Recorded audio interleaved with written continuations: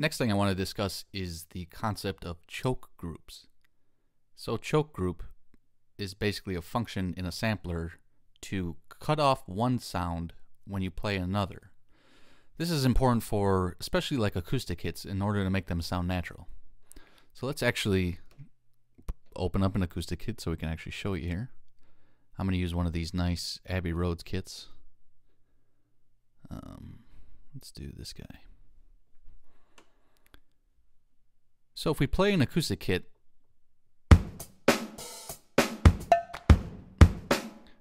one thing you're going to notice is in order to make acoustic hi-hats sound correct, you have to have them cut each other off like you actually would. So you imagine when you're hitting a hi-hat closed and then you hit it open, that open hi-hat's going to ring until you use the foot pedal to actually close it down again. So it's not going to just keep on ringing once it's closed and you're actually playing it. So if we play a closed hi-hat and then an open hi-hat,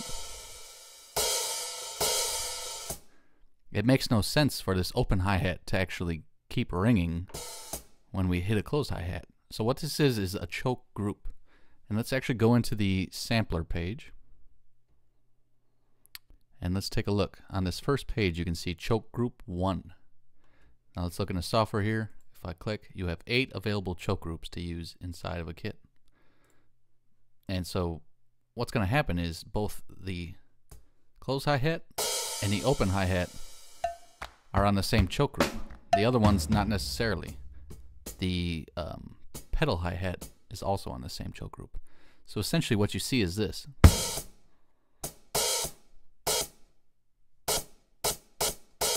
When I hit this one, it immediately chokes the sound of this one.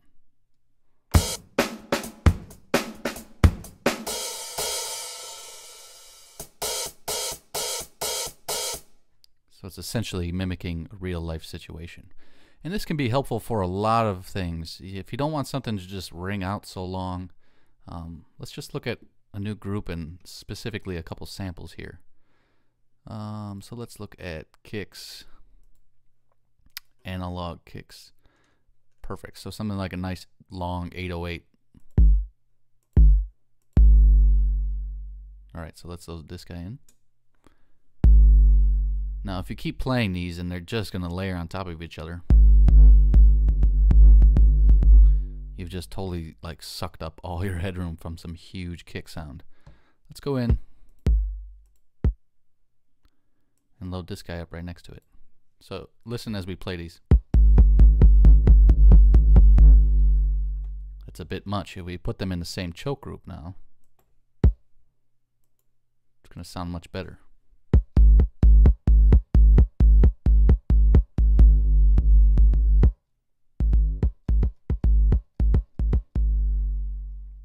Much more maintainable.